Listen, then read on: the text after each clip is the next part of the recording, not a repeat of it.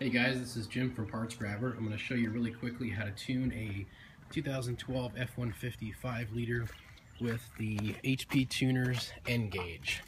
So first thing we're going to do is install the N-Gauge and the coin holder on the two-wheel drive version of the F-150 is a great location to mount it. I used some double-sided tape, ran the cord through the back here and plugged it right into the ALDL port if you can see that.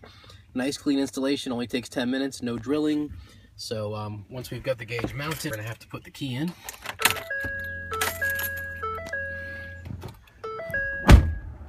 And there's an SD card down here at the bottom of the gauge, and that's where you're gonna load your tune. So what's gonna happen is your remote tuner is gonna send you a tune file. You're going to uh, save that file from your email onto your SD card, and then uh, you save it in the tuned files folder once you've saved it, you install the, the card back into the N-Gauge. Now let's go ahead and start the truck up really quick. And I'm going to go ahead and shut the vehicle off once it connects.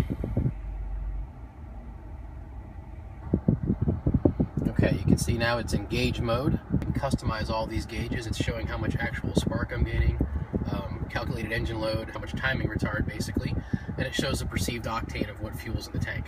So I'm going to shut this off, turn it back on, and I can press anywhere I want on the gauge, and it will bring me to where I can press back and exit gauges. So I can choose, of course, to configure my gauges. I can go into tuning or I can go into diagnostics. Well, today we already have a tune written uh, by Tony from Tuners Inc. He wrote an 87 octane tune that refined the shift points a little bit, uh, added some timing, and picked up a little horsepower while still allowing us to run 87 octane. So I'm going to click on tuning, then you click load tune.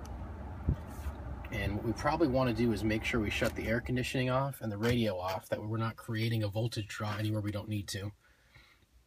And then of course it says on the screen here, select tune to load. Well, I'm going to select uh, the Jim Ford 2 is my stock file. So I'm going to arrow to the right until I find the tune file that I want. And here it is. Notice how it says Tuners Inc.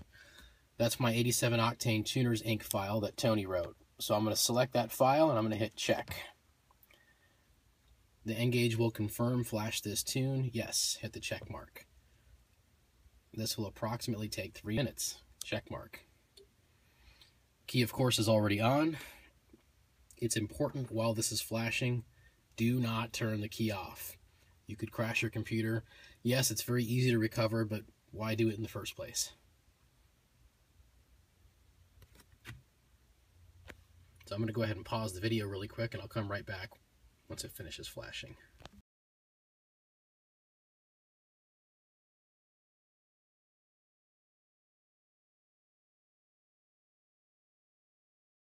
And we're just about finished here. You can see the progress bar tells you where you're at.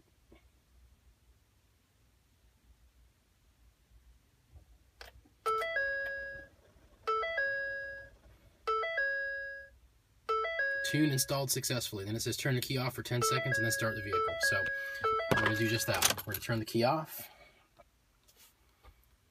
We're going to wait about 10 seconds.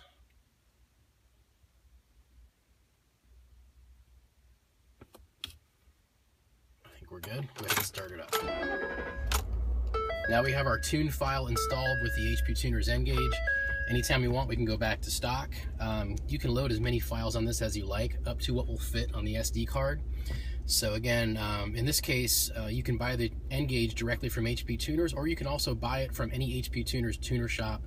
459 is the retail price. You'll usually see it priced on the internet between 449 and 459.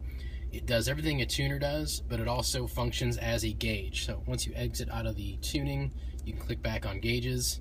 It'll connect to the vehicle and you can configure your gauges. Thanks again to Tony from Tuners Inc. for doing the tune for us and hope you enjoyed.